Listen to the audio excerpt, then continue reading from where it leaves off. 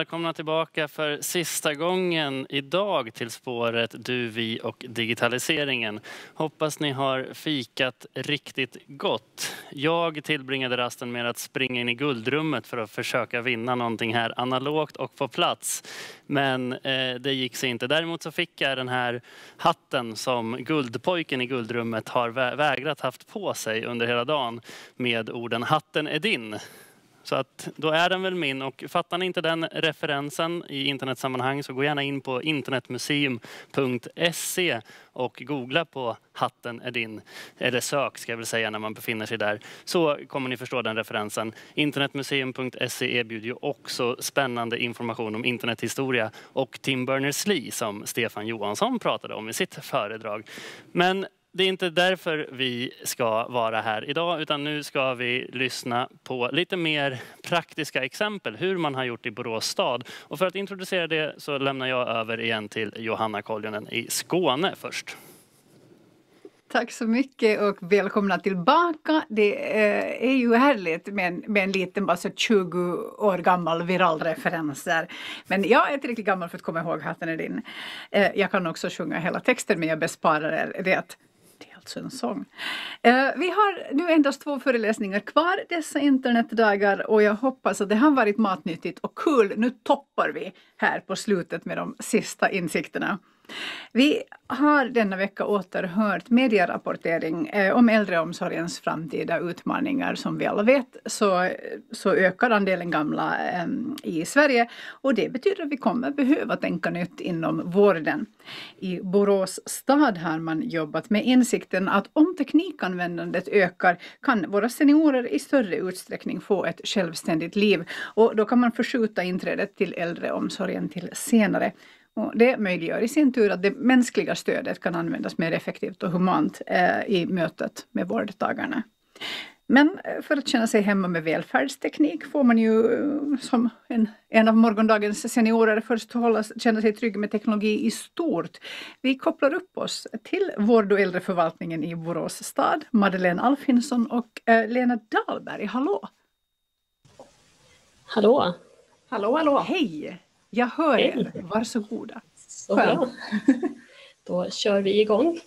Hej och välkomna allihopa. Vi ska hålla vårt föredrag som vi kallar för När mormor blev digital som handlar om Borås stads arbete med digitalisering och välfärdsteknik. Jag heter Madeleine och med mig har jag min kollega Lena.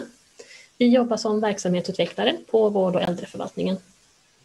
Eh, vårt föredrag idag kommer handla om digitalisering och Borås stad ligger i framkant vad gäller införande av välfärdsteknik i alla våra verksamheter.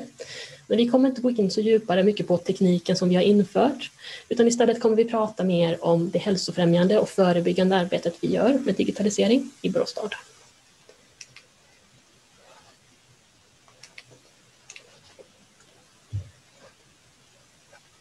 Nu har min presentation hängt sig här. Vi ser om vi kan få igång den.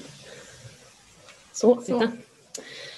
Eh, I världen så pågår ju många stora förändringar just nu. Eh, bland annat så har vi klimatförändringen, vi har den stora coronapandemin som är pågående och vi har den demografiska utvecklingen. Vi har också digitaliseringen. Världen håller ju på att förändras och bli digitaliserad. Och tänker man på digitaliseringen så kan man ju också använda den som verktyg i de andra förändringarna. Tar man till exempel den demografiska utvecklingen så har regeringen tagit fram vision för e-hälsa 2025. Eh, och den handlar om att Sverige ska vara bäst i världen på att använda e-hälsans och digitaliseringens möjligheter år 2025. Det är fem år kvar för Sverige att bli bäst i världen och vi har en bit väg kvar att gå fortfarande men eh, vi i Borås stad gör så gott vi kan i alla fall. Eh, och det kan ju vara ganska svårt för en kommun att förstå hur ska vi hjälpa Sverige bli bäst i världen? Hur ska jag som anställd på en kommun med flera tusen anställda kunna påverka? Precis, och då kommer vi till vad vi gör i Borås helt enkelt. Och här jobbar vi för fullt och det är lite som man säger att vi har gjort mycket satsningar när det gäller införande av teknik i våra verksamheter. Men idag är vi här också för att prata om att vi jobbar mycket hälsofrämjande det förebyggande arbetet med digitalisering. Och här ligger vi också mycket i framkant nu. Och med tanke på det så har vi också fått förmånen att faktiskt jobba tillsammans med Sveriges kommuner och regioner i det kompetenscentrum man har satt upp i Sverige. Och där är vi en utav tio modellkommuner som får vara med och sprida kunskapen och eh, in till eh, Sveriges kommuner. Och vi ser att det har hänt mycket när det gäller digitalisering i våra kommuner framöver. Och det är mycket det här med förändringsarbete som vi ser att fler och fler kommuner börjar anamma nu, vilket är väldigt kul. Och vi tycker också att det börjar bli dags att ta nästa steg. Det är inte bara förändring i de specifika satsningarna vi behöver fokusera på, utan vi behöver också lyfta oss och se förändringsarbetet ur ett övergripande perspektiv. Och när vi tog oss an det här arbetet när det gäller digitalisering, ska vi se, så är det så att eh, våra politiker har tagit fram ett inriktningsdokument där man säger att välfärdsteknik ska vi satsa på i vår verksamhet. Och som tjänsteperson då så satt vi och funderade på hur ska vi applicera det i vår verksamhet? Vad ska vi göra? Så vi tog fram fyra fokusområden för att se vad behöver vi fokusera på. Och då såg vi där att vi hade mycket satsningar när det gäller just område 3 och område 4. Och det tror vi är likt många andra kommuner också. Vi såg däremot att eh, invånarna, där hade vi, var vi lite efter. Där hade vi inte satsat så mycket. Så här har vi börjat lägga fokus. Så år 2020 så har vi haft ett fokusår på just det hälsofrämjande arbetet. Att satsa förebyggande, att få seniorer att vilja använda teknik, att känna sig nyfikna kring teknik. För vi ser att satsar vi där, då kommer de också bli mer självständiga. Och då kanske vi kan senare lägga inträde till att de behöver vår hjälp och stöd. Så vi ser att här är det win-win för båda parter. Och sen är det ju så att många av de seniorer som finns idag i samhället, de är ju och har haft kanske teknik i när de jobbade i arbetet. Men frågan är då, en del anammar ju det här och är i det digitala innanförskapet. Men vi har också seniorer som är i det digitala utanförskapet. Och det är här vi behöver fokusera då och jobba med förändring. Här kan man ju se exempelvis, de flesta har ju använt datorer eller så i sitt arbete, men för bara tio år sedan så exploderade smarttelefonerna och används överallt. Och det är inte alla som har haft möjlighet att följa med i just den här förändringen. Precis. Och då måste vi jobba brett. Vi kan inte satsa på just en specifik målgrupp, utan här måste vi verkligen jobba med förändringsarbete och få så många som möjligt att vara i det digitala innanförskapet. Och vi kan inte bara satsa på de seniorer som är i det digitala utanförskapet idag, eh, utan vi måste också satsa på de som är i det digitala innanförskapet. För satsar vi inte på dem, då kommer de vara i ett digitalt utanförskap imorgon. För utvecklingen går konstant framåt. Och det är här vi tycker det är viktigt att kroka arm, samverka med andra för att just liksom få framgång i de här delarna. Och vi har ju lyssnat på Katarina Gidlum tidigare idag och det var när vi lyssnade på henne Eh, för ett år sedan ungefär som vi såg att ah, det är så här vi ska ta oss an det här arbetet. Vi har haft mycket teknikfokus tidigare, men vi måste jobba med sättet. Vi måste jobba med att det är hela samhällssystemet som påverkas. Det måste vara en given del i vår verksamhet. Eh, så att vi försöker att inte tänka stuprör när vi gör satsningar, utan vi försöker tänka att senioren, där vi gör satsningar nu i det hälsofrämjande arbetet, också ska kunna nyttja den kunskapen när de kanske senare behöver mer stöd och omsorg från oss i kommunen. Tänker man sedan på de som inte har lyckats följa med i den här tekniska utvecklingen, de som lever i ett utanförskap idag, så har vi också märkt i Borås att nu under coronapandemin så har det blivit eh, mycket mer påtagligt för de som är i ett utanförskap. Tar man exempelvis att man kan handla hemifrån, då slipper man ta sig in till affären och riskera att bli smittad där. Eh, någonting som däremot har varit ett problem är just det här med att betala. Eh, på de flesta e-handelssidor idag krävs det mobilt bank-id för att man ska kunna betala. Det räcker inte med bank-id på datorn, vilket ju är något som många fler seniorer kan hantera, utan du måste ha råd med en smarttelefon eller surfplatta och kunna installera mobilt bank-id. Här har ju våra eh, seniorhälsokonsulenter som gör förebyggande hembesök haft det ganska svårt. Vi kan ju inte gå in på en persons banksida och hjälpa dem att skaffa mobilt bank-id. Så här ser vi att bankerna verkligen skulle behöva steppa upp och hjälpa till. Hur ska vi kunna nå seniorerna och visa dem hur man använder mobilt BankID? Ehm, nu har vi pratat lite grann om det här med utanförskapet, men vår uppgift i kommunen är ju snarare tvärtom. Vi ska skapa innanförskap istället. Ehm, så vi ska ta upp lite tips, lite vad man ska tänka på, lite hur man kan göra. Precis, och då vill vi börja med den här bilden. Fundera på vem är det som är senior? Vem är det som är vår målgrupp? Är det den här klassiska bilden av senioren som vi har framför oss nu? Eller kan det vara att eh, den här bilden som vi visar nu istället är senioren som vi har framför oss? Och det är här vi vill att ni ska tänka till att seniorer är en åldersgrupp som är väldigt bred. Vi har de som är 65 år upp till över 100 år. Alla har olika intressen, bakgrunder, förutsättningar in i det här. Så vi måste jobba brett med målgruppen och inte skapa specifika lösningar för just en målgrupp. Och vi vet när vi jobbar att vi alltid ska ha invånarperspektivet med oss in. Det är här vi vet, vi måste ha invånarna med oss när vi gör satsningar. Men vi bör också fundera på, är det invånarperspektivet vi ska ha? Vi tror snarare att det kan vara så att vi ska ha invånarnas perspektiv. Och då är frågan, vad menar vi med det då? Jo, men vi tänker att om vi har ett invånarperspektiv, då kommer vi i kommunen göra satsningar utifrån en sexa. Men det verkliga behovet som vår målgrupp har är en nia. Och då kommer vi aldrig nå en framgång när det gäller Eh, det digitala innanförskapet och en digital gemenskap. Vi måste ut, möta seniorerna, fråga vad är ert behov? För att också veta vad är det för satsningar vi ska göra. Precis. Eh, och när man sen hittar sin målgrupp och lär känna dem så måste man ju hitta den här lilla nyckeln till att kunna skapa det digitala innanförskapet. Och den här modellen har vi lånat från Elin Bilborg från Linköpings universitet. Eh, hon beskriver det här som en trappa man måste ta sig upp för innan man kan använda tekniken. Första steget är motivation.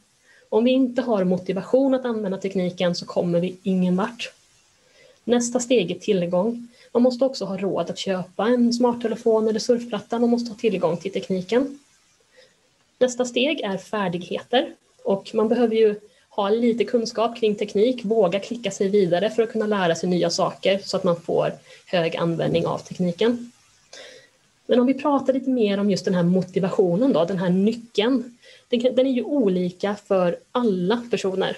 För någon kan det vara att kunna ringa barn eller barnbarn på ett videosamtal. För någon kan det vara att kunna handla hemifrån under pandemin.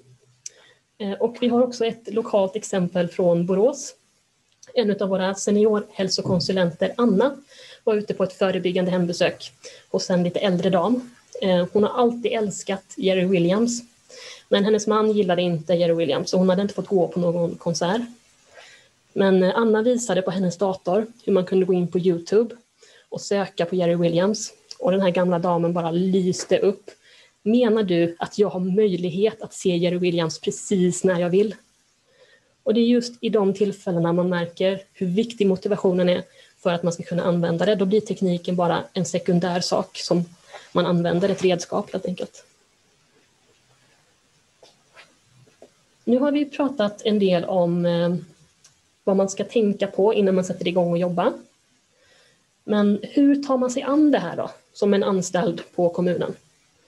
Det är ganska svårt. Det är så stort område. Digitalisering. Vi började litet och enkelt. Vi tänkte så här utifrån Katarinas föreläsning som vi blev jätteinspirerade av. Att alla borde tänka på digitalisering på det här sättet. Så vi började prata om digitalisering på hela vår förvaltning. Vi pratade med verksamhetschefer, enhetschefer och personalen som jobbar brukarnära. Vi pratade med andra förvaltningar i kommunen. Vi pratar med, med vår målgrupp på mötesplatserna och även på olika pensionärsorganisationer för att just nå ut om de här budskapen gällande digitalisering. Så börja med någonting litet och enkelt. Det kan vara något så enkelt som att bara prata om det på ett enkelt sätt som alla kan förstå. Nästa grej eh, är samverkan. Samverkan är A och O i digitalisering. Vi har sträckt ut våra händer till andra förvaltningar i kommunen, Högskolan i Borås, Innovationsplattformen, Mediapoolen, All Age Hub och Digidel. Helt enkelt alla vi har kunnat hitta som tycker det är roligt att jobba med digitalisering. För tillsammans blir vi starkare och har större möjlighet att kunna skapa en förändring. Så första grejen var att börja med något lätt och enkelt. Andra grejen samverkan. Tredje grejen är håll i och håll ut. Var envis. Det är jättelång väg upp för backen, men om man håller i, håller ut, så kommer man också kunna nå toppen. Och tänk hur bra det är när man väl är där uppe. Så var envis, för då kommer vi kunna skapa varaktiga förändringar. Precis. Som sagt, vi har pratat lite om vad vi tycker är viktigt och hur vi har tagit oss an det här området. Men nu kommer vi snarare till vad gör vi då här i Brås? Ja, men vi har jobbat mycket hälsofrämjande 2020 och då är det framför allt att vi har krokat hand med seniorhälsokonsulenterna som jobbar mycket med våra förebyggande hembesök. De är ute, möter seniorer och försöker få in dem och presentera vad har vi i Borås att tillgå? Vad har andra organisationer och föreningsliv att erbjuda för att få just den här sociala gemenskapen? Vi har krokat arm med våra mötesplatser där vi har 11 stycken i antal eh, som just nu då är nedstängda på grund av corona. Men eh, här krokar vi arm eh, för att just se vad kan vi göra tillsammans för att bidra till en social gemenskap, digitalt innanförskap och liksom främja det här arbetet. Och det första som vi tänkte att vi skulle prata om här, det var just det här när corona kom. Ja, men vad hände då? Jo, våra mötesplatser fick stänga ner. Men målgruppens behov av den här gemenskapen, den ändrades ju inte. Och då gäller det också att känna målgruppen, möta dem och komma på hur ska vi möta dem på ett annat sätt. Och då börjar vi med vår digitala mötesplats. Den har våra medarbetare på mötesplatserna arbetat med tidigare, men mer lagt ut inlägg om att det här, de här aktiviteterna har vi gjort. Men nu ställer man om och istället börjar interagera med seniorerna, la ut inlägg, gympa, eh, matlagning, teknikstöd för att just möta målgruppen även om vi inte kan träffas fysiskt. Och just det här har vi också sett gett resultat. För i juni när vi hade jobbat med det ett tag, ja då nådde vi ungefär tusen stycken med de inlägg som vi hade. Men när man tog ut statistik i oktober månad så nådde vi 5 000 och merparten är seniorer. Så just det här att möta målgruppen och lära känna dem och sen göra satsningar är en framgångsfaktor helt klart. Vi har också en mobil mötesplats som vi också ställt om med nu i coronatider. Och då är det att medarbetarna som i vanliga fall är på våra mötesplatser använder sina bussar. Och de använder man ju tidigare till aktiviteter. Men nu åker vi runt till strategiska platser i Borås stad och möter seniorer där de befinner sig. Det kan vara livsmedelsbutik eller andra platser där vi vet att seniorer rör sig. Och här är det mer att möta seniorerna och liksom ta tillvara på vad de har för frågor, funderingar, ge teknikstöd, självklart coronaanpassat, men ändå vara där ute där seniorerna är. Och här ser man också att vi möter mer seniorer idag som inte tidigare varit på våra mötesplatser. Så vi har vidgat målgruppen av seniorer som vi möter via våra mötesplatser. Precis. En annan satsning som vi har startat upp. Vi startade i våras, vilket var en väldigt dum tid att starta märkte vi när corona slog till. Eh, vi började i en liten skala och startade upp något som vi kallar för välfärdsbiblioteket, där vi lånar ut välfärdsteknik till seniorer. Man får ha det hemma i några veckor, klämma och känna på det, utforska det och se, är det här någonting som kan hjälpa mig? Då blir det mycket, mycket lättare för senioren att veta vad ska man satsa på? Vilka saker fungerar för mig? Vad är det jag behöver köpa? Alla de här produkterna finns att köpa på marknaden. Man kan handla det online eller i butik. Eh, olika tekniker vi har är bland annat GPS-klocka, robotdammsugare, smart hemsfunktion, eh, och sen har vi en väldigt populär sensorlampa som börjar lysa när man rör sig på natten. För det är många seniorer som lätt trillar på natten när det är mörkt och man ska försöka ta sig till en lampa att tända. Eh, man kommer också kunna få möjlighet eh, att vid de här bussarna då prata med vår personal och få lite stöd och hjälp direkt på plats så att man lättare kan komma igång även hemma. En annan samverkanspartner vi har är Digidel. Ehm, vi började titta lite på Digidel och så tänkte vi att allt det här fantastiska arbete, det gör ju vi redan idag på våra mötesplatser. Vi har 11 mötesplatser utspridda i hela Borås stad som har teknikkurser, som har drop-in eh, och så vidare. Så vi börjar fundera lite grann. Borde inte vi också kunna få vara någon form av Digidel-center? Så efter en dialog med Digidel startade vi ett nytt koncept som vi är först ut i Sverige med som kallas för Digidel Senior. Så våra mötesplatser är numera Digidel Seniorcenter, vilket är väldigt roligt. Vi har ju också en mycket större täckning över hela kommunen. Det är lättare för seniorerna att ta sig till våra center än till ett som ligger just centralt. Och en sak som vi också tänker här att just det här med kostnad, att det kan vara också ett hinder. Men att just bli ett digidelcenter som vi nu då blir med utifrån seniorperspektiv är ju inte kostsamt. Det är mer att vi, alltså, vi har, våra mötesplatser är egentligen kravmärkta med att vi är ett digidelcenter för seniorer. Och det kostar oss ingenting, men det tar oss ett steg närmare och man börjar prata mer om det. Och bara att vi pratar om det eh, ute i Borås stad gör ju också att vi tar oss ett närmare steg, eh, målgruppen om våra seniorer. Precis. Vi har ju också sett att den här satsningen har hjälpt oss att börja starta upp samverkan med andra förvaltningar. Vi har ju till exempel fritids och folkhälsa som har mötesplatser för ungdomar. Eh, vi har kulturförvaltningen som har alla våra bibliotek. Eh, och vi hoppas ju på att i framtiden kunna slås ihop och kanske till och med blir en digidelkommun framöver. För vi vill ju kunna nå alla och det blir så mycket lättare när vi hjälps åt istället för att en ska dra hela lasset själv. Sedan har vi också en till satsning som vi har gjort ihop med Mediapoolen. Där har vi tagit fram lite enklare instruktionsvideor. Exemplet ni kan se på bilden här är ju hur loggar man in på wifi. Det är ju för att eh, senioren ska kunna återkomma gång på gång till samma film. Man behöver inte känna sig jobbig eller att man stör för att man ställer samma fråga om och om igen. Och det här ser vi också kommer kunna öka självständigheten hos seniorerna. Precis, och på tal också om att ha breda satsningar så har vi ytterligare ett som vi lanserade här i oktober månad där vi har digitalt stöd. Och det innebär att seniorer som är över 75 år kan ansöka hos oss i kommunen om att få ett digitalt stöd. Och det innebär att våra seniorhälsokonsulenter kommer hem till senioren eh, och det här är totalt åtta timmar som man då gör vid fyra tillfällen. Där man utifrån seniorens intresse och önskemål ger digitalt stöd.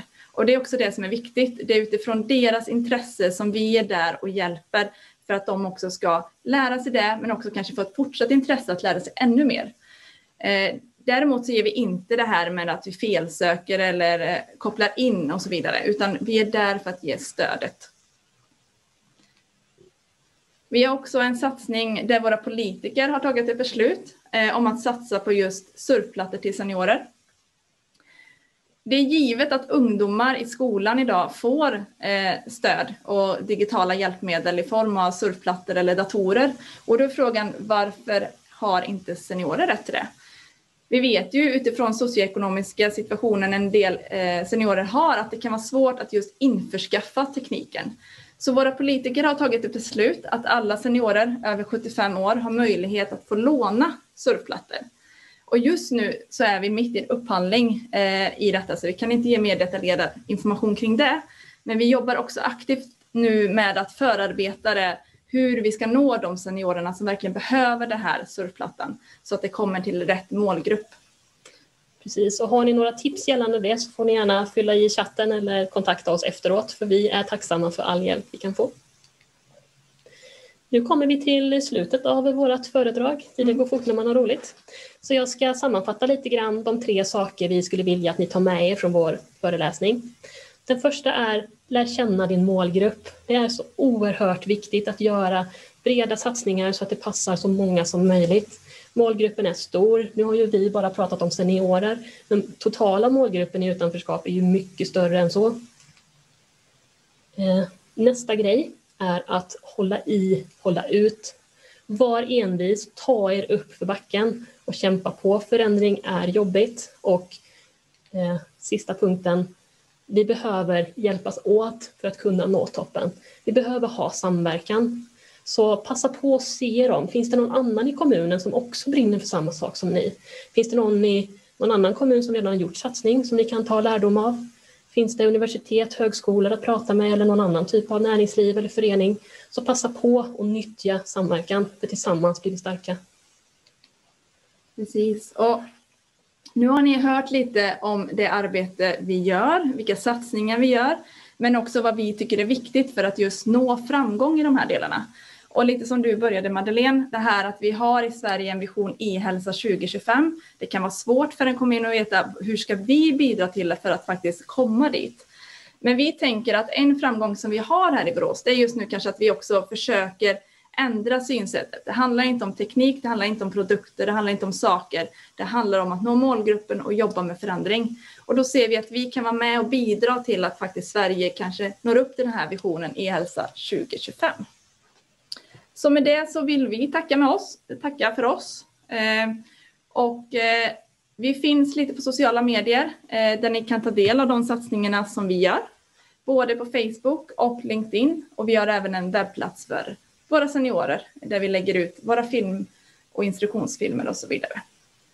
Så tack för oss. Tack så mycket för den här mycket handfasta och inspirerande föreläsningen. Eh, det låter ju alldeles strålande. Jag måste bara fråga allra först, vi har ju pratat om digitaliseringsbegreppet idag och det är ju liksom lite abstrakt. Kallar ni det för digitalisering när ni vänder er till, till seniorerna? Vet de, känner de intuitivt vad det handlar om då? Det var ju mycket därför vi valde att kalla vårt föredrag När mormor blev digital eh, för att vi skulle bli lite lättare att ta till sig. Vi pratar ju mycket, vi nämner ordet digitalisering men vi pratar inte alls om teknikprylar utan när vi är ute och pratar med målgruppen så pratar vi mer om den här förändringen som sker, utvecklingen som har gått så snabbt och försöker hitta den här motivationen för att hamna i digitalt innanförskap. Eh, jag undrar lite om vad ni har för inspirationskällor i det här arbetet. Ja, men det är ju Alltså den som verkligen gjorde att vi tog steget att börja det här på det sättet som vi gör är ju Katarina Gillund eh, som också har varit med här under förmiddagen. Hon har varit en inspirationskälla just att se på det här med digitalisering utifrån tre olika S som hon nämner det eh, och att försöka få ner det i en kommunal verksamhet och verkligen applicera så att det blir handfasta saker eh, utifrån det som hon tar fram. Det har varit väldigt inspirerande och det är också det vi har sett är kanske nyckeln till att vi är där vi är idag. Så sättet och samhället i fokus snarare ja. än, än, än grejerna, sakerna. Precis. precis. De finns ändå. Det som jag tyckte extra mycket om här handlar ju om det här att börja med något smått, alltså att man får iterera, man får testa, man får misslyckas. Eh, men eh, det, vi brukar inte prata om det i de här föredragen om allt som inte var så smart. Har ni gjort några eh, lärdomar längs med vägen? Vi märkte ju bland annat med välfärdsbiblioteket att det inte var så jättesmart satsning att dra igång när vi var tvungna att stänga alla mötesplatser. Eh, så att flera av de satsningarna vi hade på gång har vi fått avvakta med just nu. Men vi försöker ju eh, ställa om snarare än att ställa in och hitta nya sätt att nå ut. Så jag tror att de här misslyckandena är så viktiga för att man ska kunna ta sig vidare.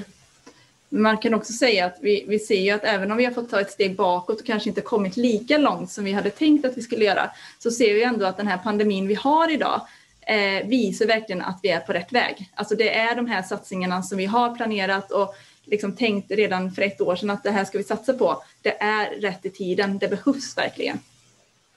Och jag tänker det måste ju finnas, alltså man, den här känslan, vi har lärt oss saker istället. Jag tyckte om den här observationen att ni har nått andra individer helt enkelt. Ni har nått ut till andra grupper av äldre eh, med den här liksom, vad ska vi säga, uppsökande bussverksamheten eh, än ni hade gjort annars. Det finns ju alltid en risk att man liksom fortsätter i, sitt inv i sina invandrarspår om man inte tvingas till någonting annat.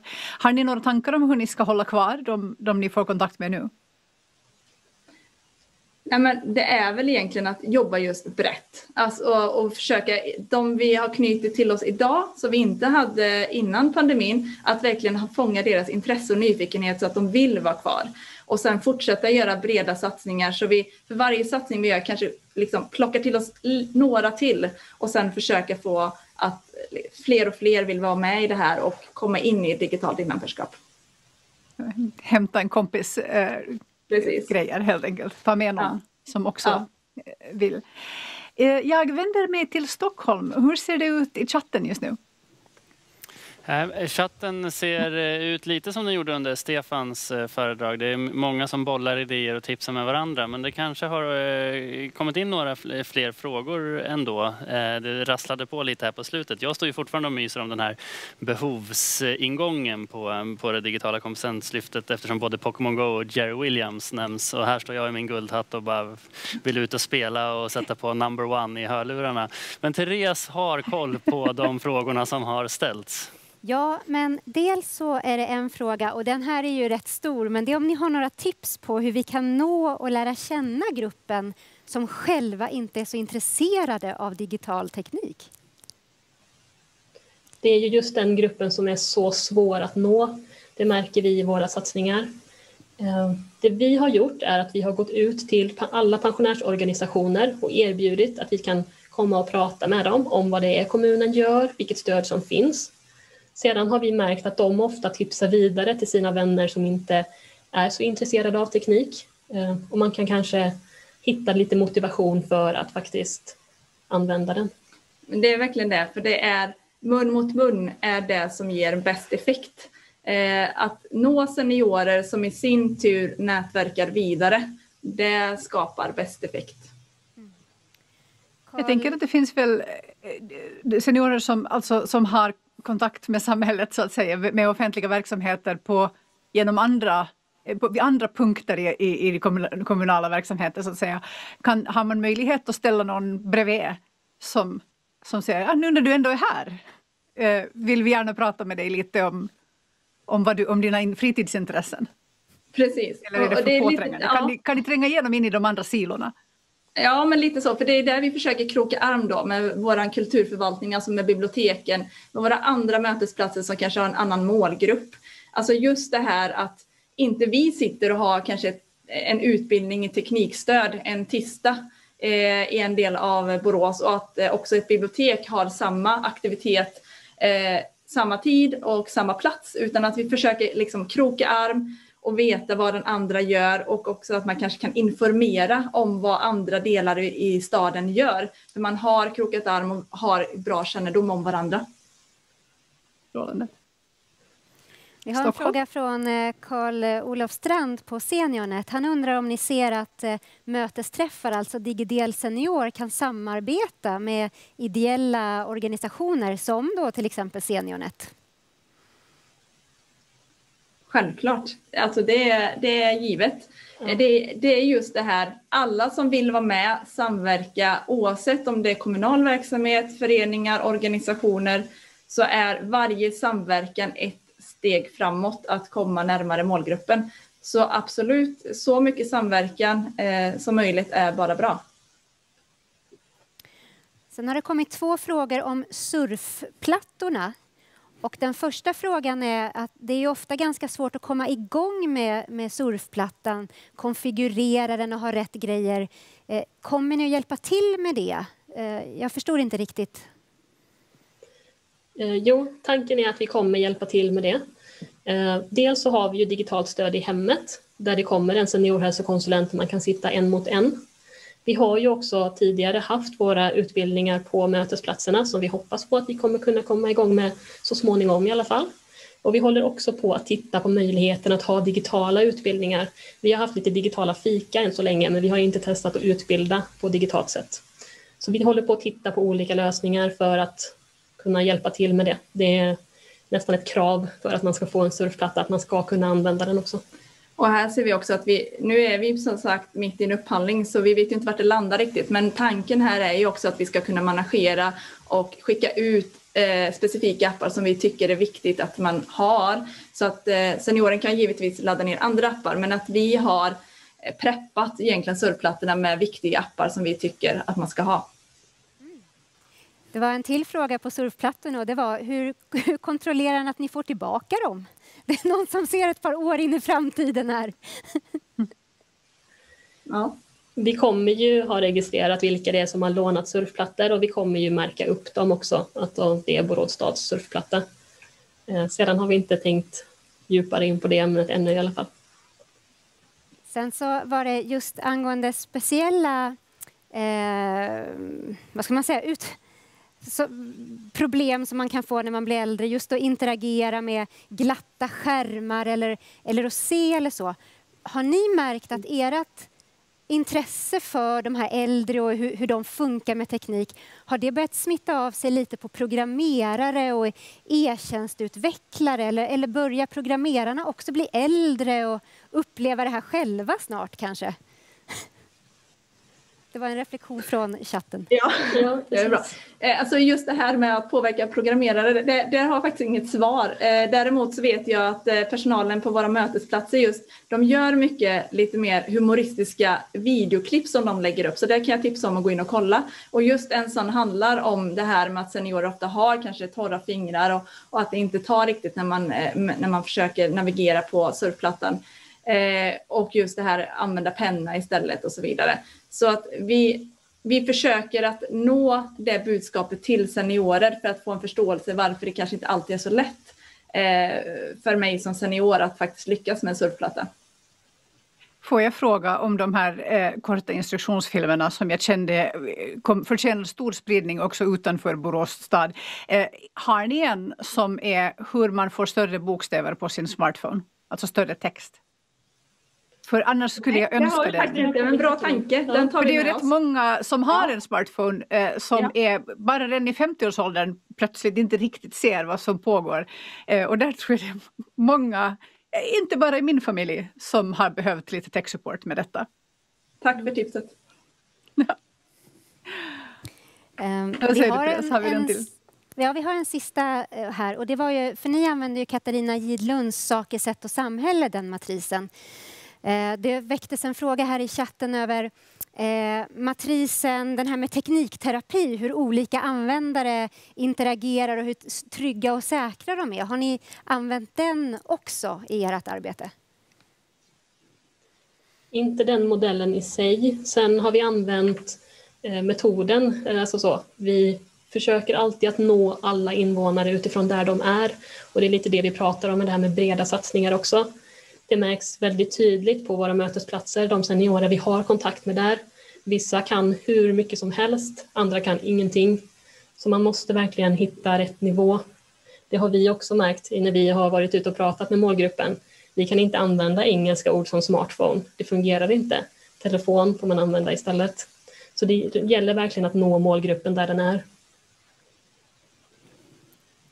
Strålande! Då kanske vi säger tack eh, så väldigt mycket till er.